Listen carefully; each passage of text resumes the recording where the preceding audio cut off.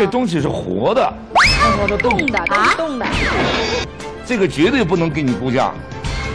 我无法给他估价。大妈带活物登台鉴宝，专家鉴赏一番后破口大骂，称这玩意儿是违禁品，曾经导致了一个王朝的覆灭，要求大妈赶紧上交节目组，不然的话后果不堪设想。这究竟是怎么回事？大妈的宝贝怎么就成了违禁品？在一档鉴宝栏目中，一位大妈手持小盒子走上前来，声称这祖传的玩意儿自己看不懂，但听老闺蜜说这宝贝还挺值钱的，所以就登台来听听专家的意见。说罢，大妈。就将宝贝塞给专家，专家在仔细品鉴一番后，突然惊呼一声：“这东西是活的，活的动的啊，动的！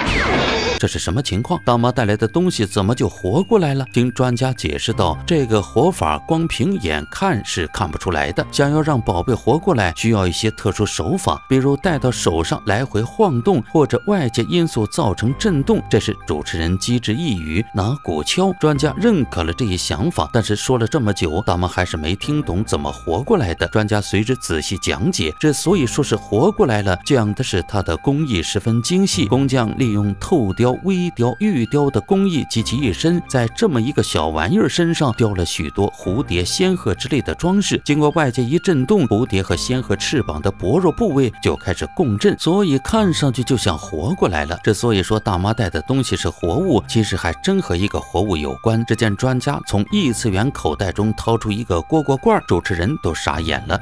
这东西，您您身上还带着呢，蝈蝈笼子。我这虫跑了，没养好，死掉了。哎，太可怜了。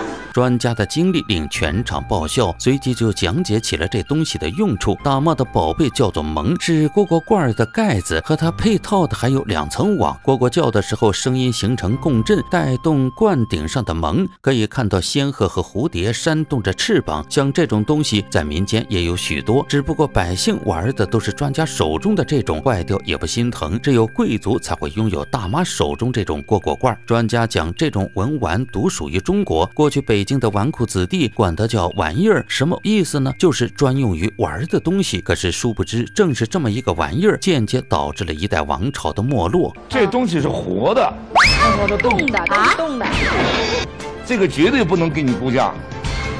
我无法给他估价。大妈带活物登台鉴宝，专家鉴赏一番后破口大骂，称这玩意儿是违禁品，曾经导致了一个王朝的覆灭，要求大妈赶紧上交节目组，不然的话后果不堪设想。这究竟是怎么回事？大妈的宝贝怎么就成了违禁品？听专家讲完活物的讲究，又讲起了蝈蝈罐的由来。在北京人的眼里，这就是个玩意儿，什么用都没有，就是个玩具。包括清末皇帝溥仪也曾在龙椅下藏着这么。这么一个玩意儿，就是这么一件东西，竟让满朝文武爱不释手，上朝时都戴在腰间。专家讲到这个物件，说明了清朝末期朝廷处于玩物丧志的状态下，这也间接的导致了整个王朝的覆灭。大妈的宝贝也算是纨绔子弟玩物丧志的一个见证。最后，专家问大妈，这玩意儿有没有找过其他人看看？大妈说，当然了。自从家里翻出这么个玩意儿，大妈心中就有些刺挠。虽然大妈不是很懂行，但是看。看这精细的雕工，想着怎么着也能值个百八十来块。随后就在附近的古玩市场上逛了起来，问到一位老板时，老板的脸色顿时凝重起来，小心翼翼地说：“这玩意儿是个老东西，但是自己的道行太浅，看不出这是个什么材质。”随后就让大妈找专家看看。大妈一脸忧愁地离开了古玩城，心想着这不会是个工艺品吧？连地摊小贩都不收。随后回到家中后，没想到下一秒就接到个电话，那边声称对。大妈的东西感兴趣，可以出价五千万收购。大妈顿时吓一机灵，五千万可是一个天文数字了。大妈怎么也想不到这个东西竟然能值这么多钱。在挂了电话后，大妈久久不能忘怀。突然电视机传来声音，原来上边播放着的是一档鉴宝栏目。看着宝友一个个的估价，大妈一个想法涌上心头：这玩意儿专家开的价会不会更高？所以大妈在阴差阳错之下来到了舞台。然而专家的一句话。打破了大妈的幻想，声称这东西没办法估价，并且是国家明令禁止的违禁品。这到底是怎么一回事？大妈的宝贝将何去何从？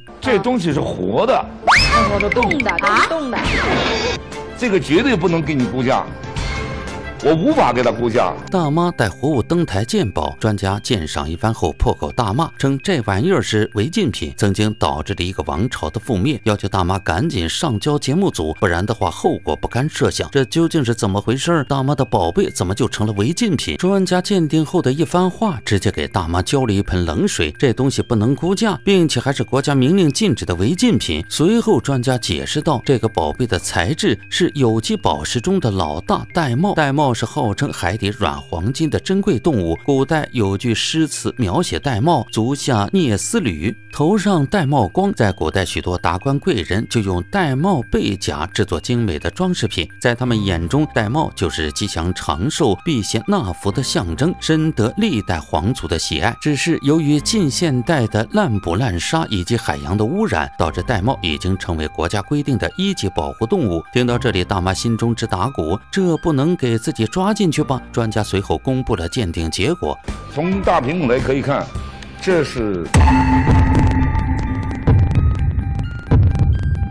非清代工部所造的一件上好的玳瑁蒙的。听到了专家的肯定，大妈心里高兴的同时，也在担心着自身的安危。毕竟这是明令禁止的东西。但是专家给出解释，大妈手中的是清代传下来的老物件，是一种历史的传承。这种情况下是不会进小黑屋的。不过要注意的是，千万不要进行交易，否则的话，玉皇大帝也保不住你。最后，专家的话给大妈指明了道路。专家说有两种选择：一是上交节目组为国家做贡献，另一个是带带回家去。可以作为传家宝继续传承下去，并且可以以此作为警示，时时刻刻提醒子孙后代一定要以物养志，不能够玩物丧志。在大妈再三思索下，最终决定带回家中，随后将宝贝取走。在节目采访中，大妈表示自己会将文物妥善保存，并留给子子孙孙以作纪念。最后在这里提醒大家，玳瑁是国家一级保护动物，买卖玳瑁是国家明令禁止的行为，同时也呼吁大家家保。护海洋，保护野生动物。好了，今天的故事到这里就结束了。有什么想法可以打在评论区留言讨论。感谢你的耐心观看，点个关注，我们下期再见。